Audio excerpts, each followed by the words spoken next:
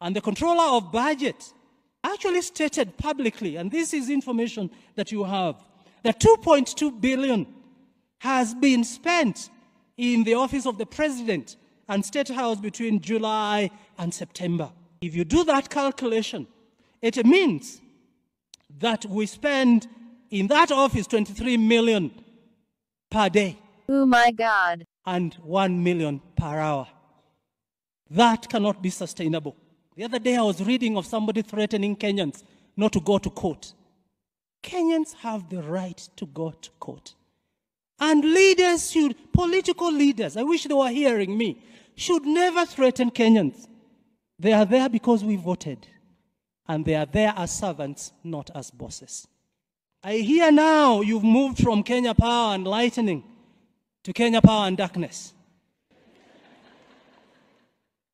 And even here now you want to spend billions of shillings to unbundle the power lines. This is corruption after corruption after corruption in a government that looked very Christian. And I remember I told them not to hide in Christianity. Christianity is being men and women of integrity. You cannot use Christ to come to power, and then you, when you get there, you become a corrupt leader. What even saddens me now is when I hear the voice of the church being silenced. Unfortunately, the church seems to be in bed with the government. They can't challenge the government. They have become recipients of government appointments and recognitions. And that is dangerous. So, corruption, if you're not careful, will permeate every part of the church. The context in Kenya is becoming even sadder with the weakening of the opposition. While we should be having a very strong opposition by this time to check on the government, it's becoming weaker and weaker, and we can't hear the voice of parliament, but also the schemes that you see to silence people. We have a weak parliament that can be used by the executive to add taxes to Kenyans. When this government was campaigning, they said they are going to reduce taxes. In fact, they were criticizing the then government, which they were part of, because of the high taxation. But today, the load of taxation is becoming heavier and heavier. And this is happening at a time when we hear of cases of grand corruption. So, on one hand, you tax people. On the other one, the same government gets into scandals of corruption. For example, the edible oil. What has the government to do with edible oil? Any government project is riddled in a lot of corruption, unfortunately. And then you are told it is not fit for human consumption. Fuel prices are not making sense in Kenya. If you compare with the world, the prices are going down. In Kenya, they are going higher, affecting the lives of the poor Kenyans. Most of the public resources are going into waste, unfortunately. So we hear the cry of our country. The cost of living, the depreciation of the Kenyan shilling against the dollar, which is affecting the prices of most of the commodities because we are net importers. When I hear of that cry, it is very sad. I hear of a ruling class that doesn't seem to care about the depressing situations of this country. Yesterday, I listened to a video that you may find it later. And this is the former uh, Chief Justice Maraga.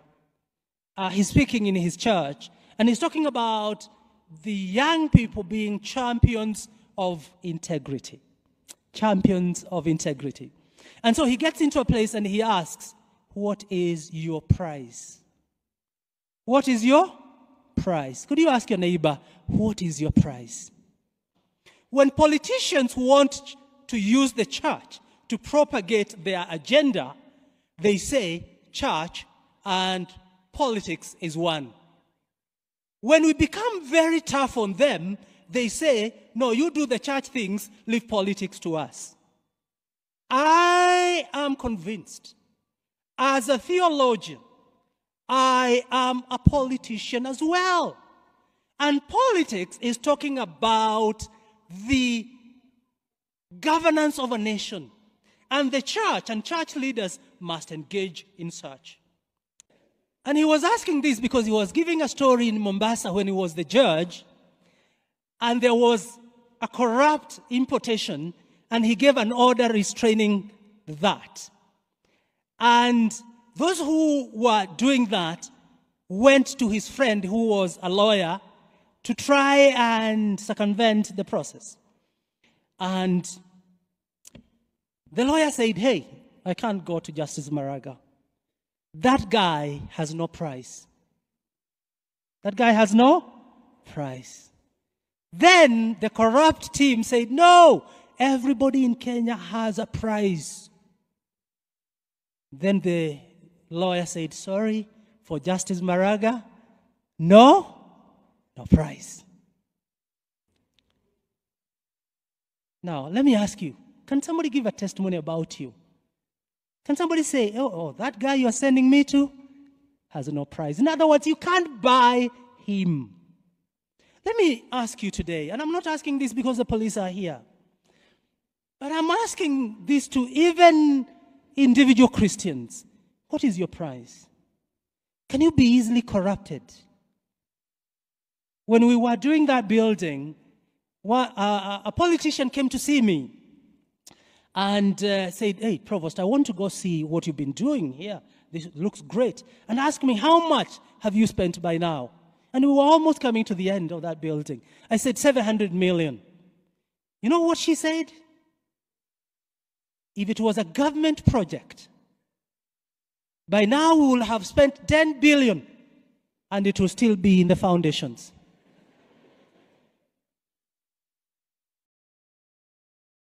As your provost then, I used to tell you, I'll never allow corruption here. So I wasn't just challenging the government, I was challenging myself as a believer, as a minister of the gospel, but also as a leader, because you can't challenge others when you can't challenge yourself. This cathedral has been known as a place of agitation.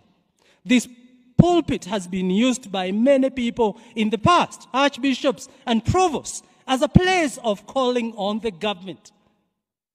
And that is the role that the church must engage. And this church is very central to that. The people of Israel needed a redeemer. Kenya need redemption as well. And this is so appropriate as we come to Christmas to think about redemption because it's a biblical theme that is important even in our current context. Redemption is a strong movement. In the liberation movement, even in reggae music, redemption is a strong theme. You're wondering, does the former provost listen to reggae? I love reggae. Because reggae talks about the very things that affect people. I listen to reggae. I love the themes within reggae because it's about setting free of people and it's a strong biblical concept. Nowadays, many churches don't like preaching about Isaiah 53 because it's a weak way of presenting Christ. And modern Christianity doesn't like the idea of the suffering servant.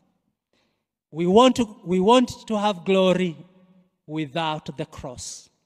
We want to have the trophy without participating in the race. And we want the trophy, uh, we want the profit before the investment. Many churches now want to make people feel good as they leave their